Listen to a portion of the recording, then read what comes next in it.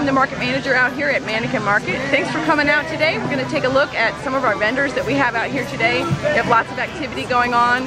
Today is our annual e-cycling and shredding day, so there's a little extra activity going on today, uh, focusing on recycling, taking care of our Mother Earth.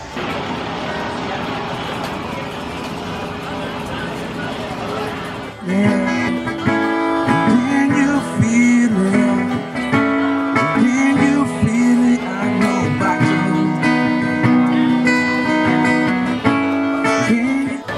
You Playground is awesome.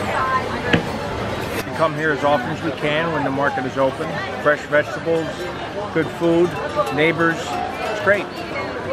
Hi, I'm Adam at Manakin Farmers Market and I do the Food Saver demos. Come down and see us.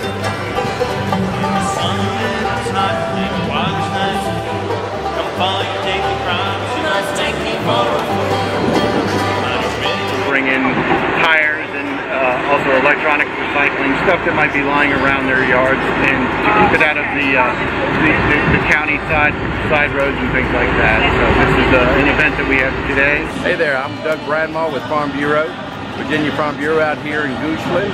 We are promoting our member services that we have with Farm Bureau. We support the local farmer and local produce, and, um, and this is a great event for us to have it at. We are Friedman Challah. I am Sarah Friedman. This is my husband Kerry, and we sell a variety of challahs and breads, mandelbrot, babkas, all handmade, generations old. We also have focaccia. Check us out on our website, and you can see what we bring every week.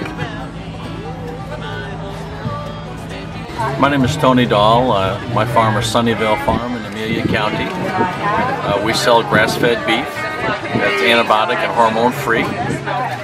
Our, our beef is um, grass-fed and finished. It's never fed any grain at all and is processed in a USDA facility in Amelia County.